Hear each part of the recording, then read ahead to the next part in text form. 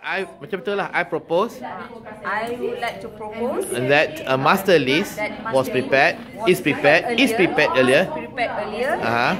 Share share to us. And the second one is uh, once the ITB or RFQ uh, sent by client, Uh-huh. so we can uh, have a meeting, internal meeting. Uh-huh. That is uh, The benefit of this proposal is the benefit of this proposal is we can send the RFQ. number one, we can send the RFQ. we can send the RFQ and ITB on time to the client because uh, we have a limited limitation on submitting the tender, right? We have a, and uh, Second benefit? No.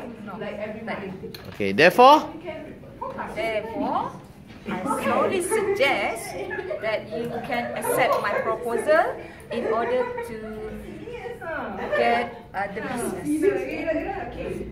thank you. The.